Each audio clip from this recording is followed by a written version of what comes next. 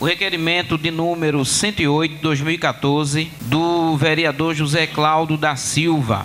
O ano passado eu fiz esse mesmo requerimento, mas aproveitando a, a internet, o meio de comunicação, as senhoras e os senhores que estão presentes aqui, e é bom que a gente fale que o meio de comunicação é muito importante para Carpina. O meio de comunicação é muito importante para Carpina. E hoje faz falta é, o programa Ponto a Ponto do nosso amigo Peruca, onde eu mando um abraço para ele. Até porque é de público notório que as pessoas que não vêm para a Câmara da nossa cidade fiquem em casa escutando o que os vereadores fazem, os projetos, os requerimentos, as suas intenções.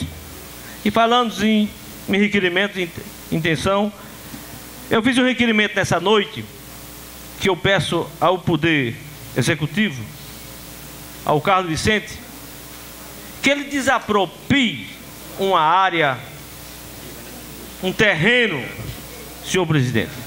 E peço aos nobres vereadores que discutam, até porque vai estar no meio de comunicação, os representantes de rádios estão aqui e sabe que Carpina precisa de um distrito industrial.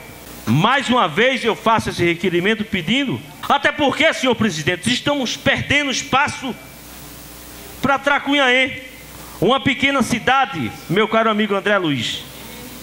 Uma pequena cidade vizinho nosso, que não sei se foi o prefeito que passou ou é o prefeito atual, que fez várias doações de terreno na BR 408 e nós temos vários terrenos ali que a prefeitura poderia desapropriar.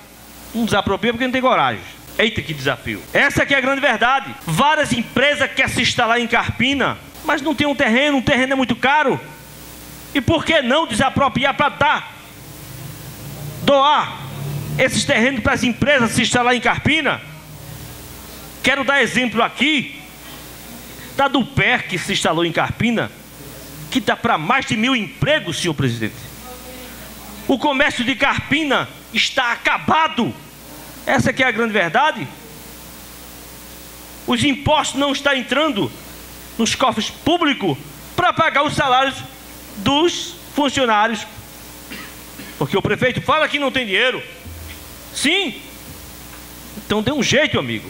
Cabe ao prefeito procurar as lideranças políticas dele e atrair algumas empresas para Carpina, que na campanha, é o que se comenta que na campanha era isso: vamos criar o distrito industrial, vamos dar emprego ao povo, vamos dar casa ao povo, vamos construir duas mil casas para o povo.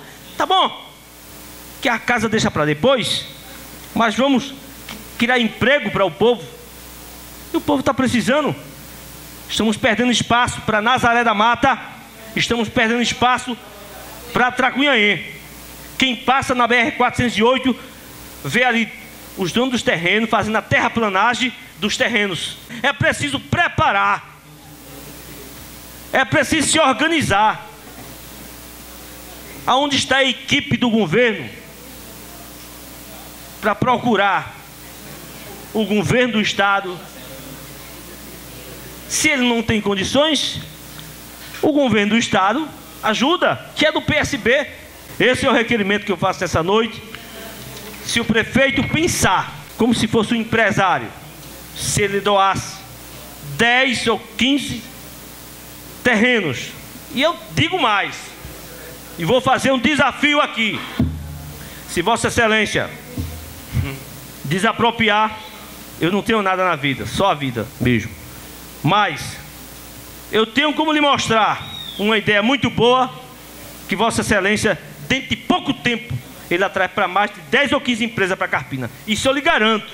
Não conheço nenhum empresário, mas lhe garanto que tem uma grande ideia. Muito obrigado. Vamos cobrar projeto do governo do, município para que possa angariar recursos e a gente não ficar de fora desse eixo de desenvolvimento. E ali as margens da BR-408, emendando contra a Cunhaém, eu acho que é o melhor local para a gente. Parabéns pelo seu requerimento. Obrigado.